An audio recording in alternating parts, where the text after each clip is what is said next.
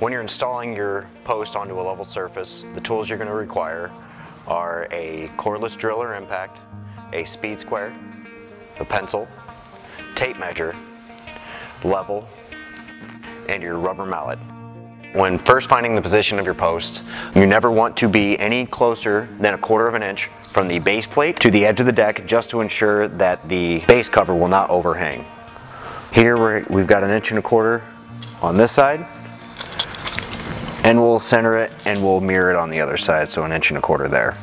Using our speed square, we'll ensure our post is square on the deck going in both directions at that inch and a quarter measurement.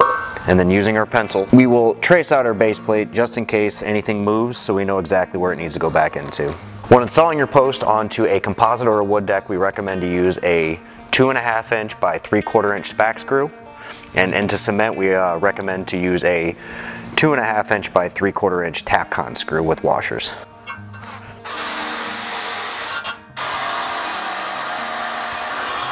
Once your post is firmly attached to the top of our deck, we want to check to see if our posts are plumb on at least two adjoining sides.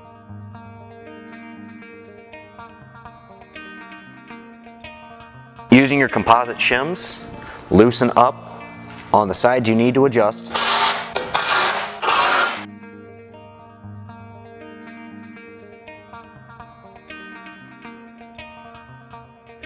And then retighten your Spax screws. Check your post once again. This may take a few attempts to make sure that you get this post perfectly straight. Once your post is secure and plumb, you can go ahead and snap off your composite shims.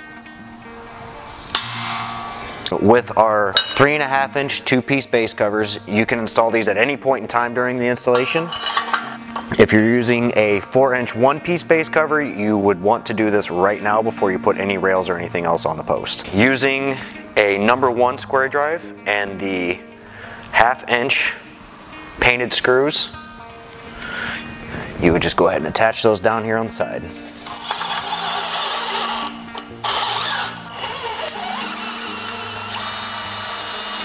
We do recommend putting your post cap on last as it could interfere with your templates for your brackets. When placing your post cap, normally try to get it as close to being square on top and then you might need to just use a rubber mallet